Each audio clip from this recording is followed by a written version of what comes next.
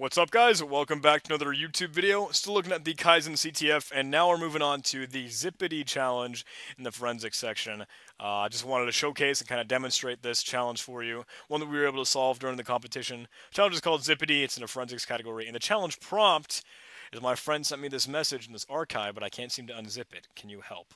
So we get the zip archive and I'll go ahead and create a directory for it. Zip uh, D.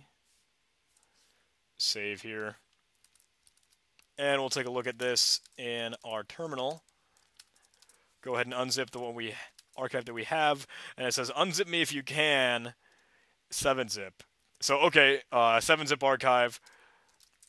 I know. Whoa, it's it's considered to be data, though. That's weird. I went ahead and used this through my file explorer so I could just use the archive manager to try and do this for me, just because I don't know a command off the top of my head to use uh, 7-zip. And an error occurred while loading the, the archive. Holy crap. Okay, this has, has to be the challenge itself here then, just being able to unzip the, the archive. Um, it was weird though that file saw that it was data, so um, I'm curious, does it have the correct like header? Does it have the correct um, file magic number for a 7-zip archive? So I take a look at it. I had a friend just walk in the room. Apologize for my strange delay there when you open it in a hex editor, you see that interesting thing that the first couple of bytes are 1, 2, 3, 4, which is very clearly not what they should be, or at least we're kind of assuming that, considering it's strictly 1, 2, 3, 4. That's got to be a, a, gig. So what we can do is we can take a look at that 7-zip file header. You see it's even in my Google research like stuff here. There's a Google zip file format, and I'm trying to look for what are the magic numbers. And Okay, it says there are some here. That's not really in a format that I like.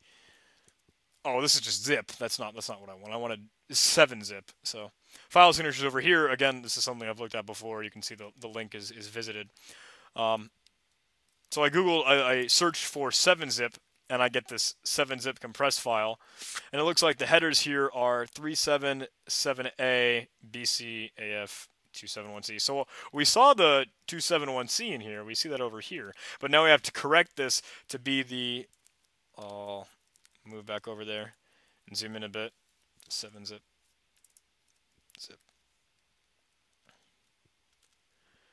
It has to be 377A, BC, AF, and 271C. So we can save that, Control O, and we'll name it as uh, whatever we want, I suppose win.7z. Oh, if it wants to keep it, yeah, we can save it. Okay, now it's saved. I'd use Control X or Control O to save and write as. And now you can see in the ASCII portion of it, it does spell out 7Z, which is what it should be. So we can go ahead and now try and unzip this. I'll use Nautilus again to open it with the file manager. And we can finally open it in our archive manager and we can extract out this flag.txt and it is Kaizen magic numbers are important. So not too difficult.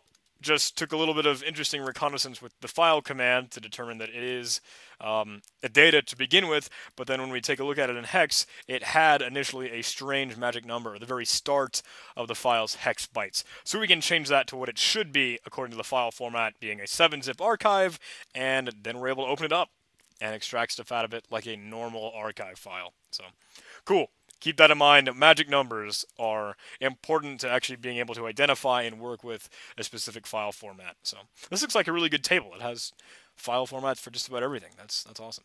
So sweet. Hope you guys enjoyed it. Um, want to show off that challenge and hopefully a few more. Hope you're enjoying these couple of videos for the Kaizen CTF, and I'll see you in a later video.